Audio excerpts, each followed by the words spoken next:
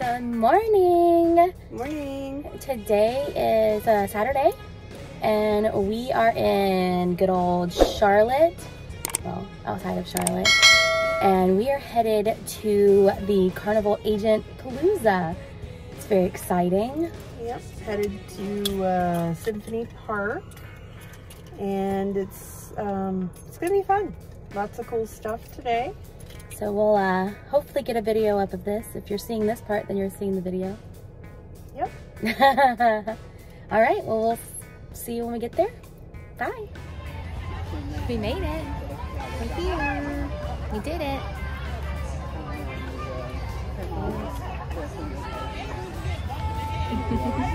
so we're here and we're waiting in line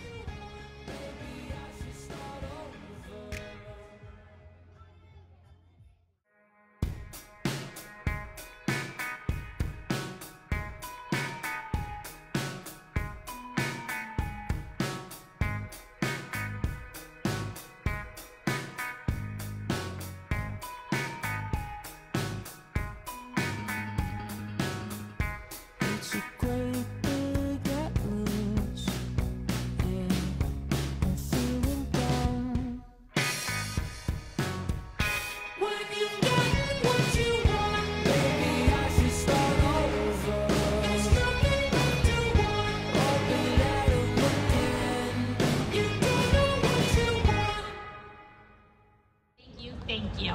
Just like you are leading the way in how people get to connect with the world, St. Jude is leading the way that we are identifying, treating, defeating childhood cancers as well as other life threatening diseases. So thank you, thank you, thank you.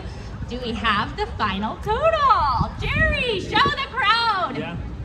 Right over here, in case you Oh can't see it. Oh my gosh, it is incredible. We asked you to raise $50,000. We had to stop at some point so I could write the number, and you're at $51,182 raised. And thanks to this is thanks to each and every one of you. I want to let you all know as well as thanks to you all. You also raised the most out of all the other cities. It was Charlotte is the winner of the whole week. So again, you should be clapping one more time. Give a big round of applause to each and every one of you for that donated today, out the rest of the cities, and for the grand total, an amazing accomplishment of reaching our.